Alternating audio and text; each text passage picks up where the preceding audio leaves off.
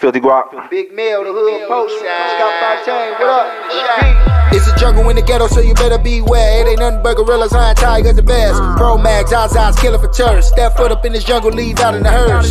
Codons, Percocet, City Girls, yes, sex, all eyes, no deaths. Bullet shells, candle wax, candle lit, Brody hit, gas, shotty shot back. Guess he was real when he died, he ain't come back. Round here, snakes, win, gorilla man, no win. Bro facing 10, gave him up, now he back to win. Man, it's every day, on the floor, no other way. In the ghetto, better get you some cake, no birthday, no heart, no love, nigga. What is V-Day? Cause we down bad.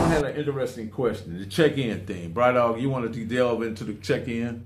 The check-in thing is this, man. Say Curt Bone got on a bunch of jewelry in the Rolex, mm-hmm. and Curt Bone wants to go in the heart of Compton. If you want to go in certain geographical areas of Compton, that I got enough pulled in. Mm-hmm. Curt need to come check in with me and say, man, I'm going to slide over here because I'm looking for someone. All right.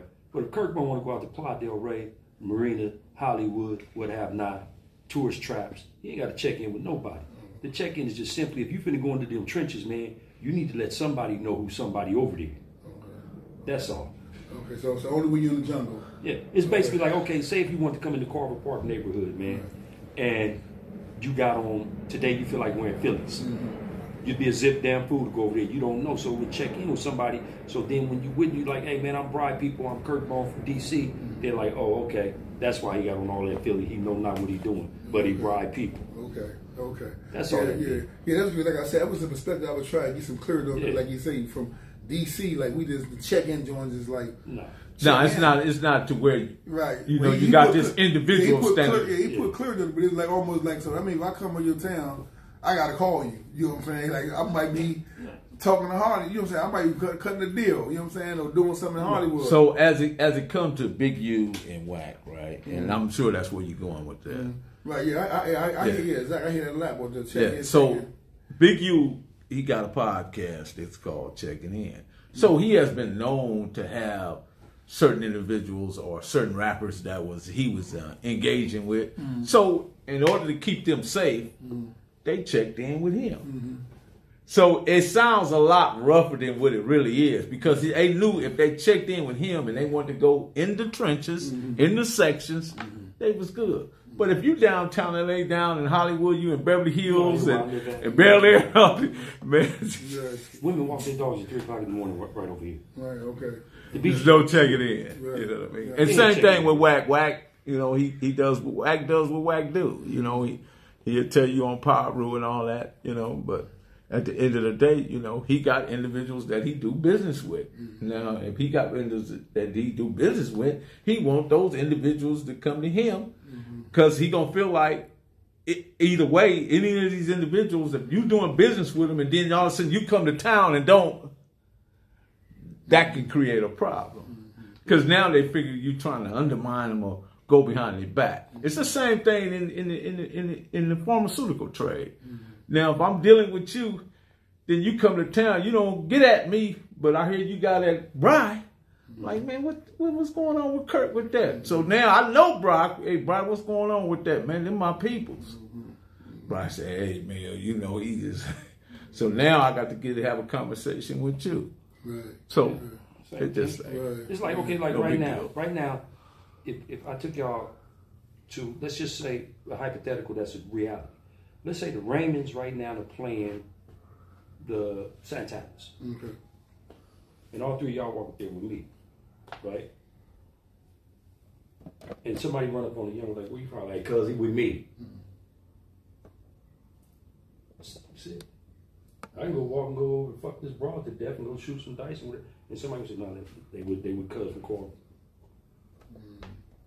By the way, y'all, this the man that told Wack and told Wack 100 the only thing he could do was hold his pistol in the dice game.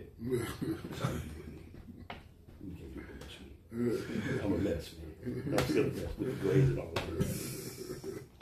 Best. Yeah, But, yeah, yeah. I know that's too. But is that is that clear enough for you? Yeah, no, yeah, I was getting understanding. So yeah, he just play basic nigga come around and they trying to go in in, in them holes. You know what I'm Right. saying? In, in them You holes. some- where, where, where, where they hunting at. Right. You know what I'm saying? Yeah. And, and it's it's same way in DC, the Right. same way in New York. Right, you yeah. can't go in where they hunting yeah, at. And, yeah, but like in DC, you can't in DC. I'm gonna say, man, you say, man, I'm coming to conduct business. I'm be like, okay, man, hit me if you need me. But if you said you coming to go like to Barry Farms or Right. different to go Right. or something like man, I'm gonna ride with you or get somebody to ride Right. with you, right? But I so I ain't understand how that demographic how it work here. Yeah. You know what I'm saying? But- Just that term, that's a mean term though. But Yeah, it is. It is. Because is. we where we from, nigga, check on in, go on, go on, Yeah, nigga. take You, it you up can't, top. you ain't, you can't sleep in here. You gonna check in. Yeah, Right. But see, You you know gotta what I'm understand this too. It can't be a lesser crip.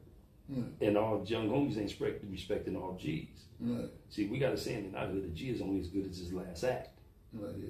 You know. keep that resume updated. You, you know, my resume is updated via my family and via like they already know I'm not playing no games. Uh-huh. I'd have been to the functions, to the funerals with the 33 on my waist and say, anybody want to jump out there? I'm blowing your face off, whoever's standing next to you. Uh-huh. Now leave me the fuck alone. Don't talk to me. Leave me alone. That's how I talk. And they know I'm not playing. I'm not glorifying. I'm not proud of it. I'm not none of that. I need to tell you, I got a 29 page rap sheet in there with six bodies only with no co-defendants and two convictions. Mm. Beat him four times. I beat him four times in jury trial. One of my convictions is I got I went to the pen at 17, turned 18, and one when I got a reversal, I kept another motherfucker in the pen, a Mexican, and got eight years for that. Mm. That's all in my jacket in that bedroom. That don't make me no toughie. That just makes me I was foolish. I got shot in 86, I got shot in 87, I got shot in 88, I got shot in 90, I got shot in 93. From being mm. foolish because I have a distinctive walk that people could spot a mile off. But I've done my share of shooting in that world. I was a gangbanger's gangbanger.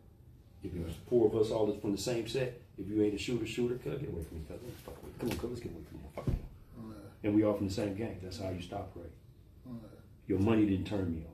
I don't give a fuck how much money you got. Mm-hmm. Mm-hmm. I might show you a list and your name might be on it. And you're like, why my name on it? I don't know. Let me take it off. I'm broke. So, Curt Bone, one more question. In regards to the guy, the rapper that got killed, Y'all right? that Outside the club, man. What was that all about when they had, propped him up in the club? He did. Oh, yeah, yeah. And they uh-huh. and they had to, what was that? Some type of, Yeah, yeah, yeah, yeah. Talking about Gunna. Yeah, Yeah. so- What was that all when- about? When his mom got interviewed, she said it's been a sister. They say that that was one of his wishes that he wanted to go out in the club. So he was kind of honoring, and you know, probably got you know, got some little curve way popping it up. I don't know, but they, they said it was one of his little wishes. Uh, okay, I, I was just trying to make sure it wasn't a thing. Cause I, You know? you I Yeah. thought it was Yeah. weird. I thought it was weird until I seen his mother get interviewed. Okay. So you know, so I guess she was on deck. I thought it was some young dudes took the wheel. Because I know they do that in like them Haitian countries. Yeah, like the other cultures they do. Like, Yeah. like even Dominican, Yeah. like Spanish cultures on the island and stuff like that. They Yeah. prop you up. If you like to ride a motorcycle, they put you on a motorcycle. Mm-hmm. Everybody come in there, they see you on your motorcycle just stuck. That's. So that's just like, dude, years ago they had the Jet magazine. Where, y'all probably don't know what Jet is, but they had the Of Jet course. magazine. In the Rolls Royce? Yeah, they buried. Yeah, yeah. You remember what I was gonna Yeah. say? Yeah, yeah. They were going to get buried in this shit. Yeah. Mm-hmm. Well, shit, man. Of course, You man. want to just feel that you can't take it with you. I'm taking Yeah, mine with you me. know, here, man, America, we like got weird thing with death.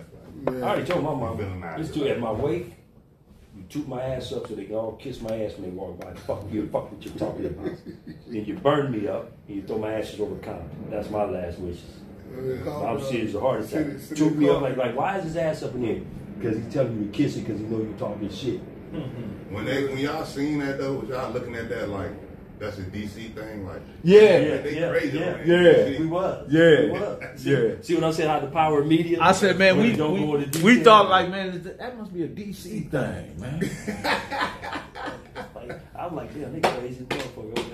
I know show me shit. They got they behind like a motherfucker. Hey, and it's crazy. It's, funny. it's crazy. Anything you see now, I don't care where you see that, you can't jurisdiction because all the young are doing the same thing. Yeah, in fact. Back man, it was the '80s or the early '90s. You can say that's a DC thing. Oh, or if I seen somebody, I say that's a LA Compton thing. But now youngers doing whatever they see a younger doing on social media. Right. They, they just doing They it. doing Yeah. because they got You know all the I'm challenges saying? and Like, shit. like, like, True. like right now, if I go to your mall, I can't This thing was a young dude that's my son age if he from PG, Atlanta, or here. Right. They dress the same. They dress the same. You're right. Yeah, they Like we, we back there, we go to fight. Yeah, they from LA, they from Detroit. You can New York tell. dudes, Right. such such dudes. I knew a dude. He gonna have We always knew the Detroit dudes and, and all them dudes, because the Chicago dudes, because they, they they cold weather dresses. They dress hat, vest, Cut- cut- jacket. cut- They cut- dress Gators. loud. They Yeah. dress they guard loud. and Yeah, they real guarded. They real guarded. Yeah, They real we guarded. like, yeah, yeah. New York dudes, they was they thought they had flavor with their little sneakers, they mm-hmm. Kangols, Yeah. Mm-hmm. and they they Yeah, we knew them. Yeah,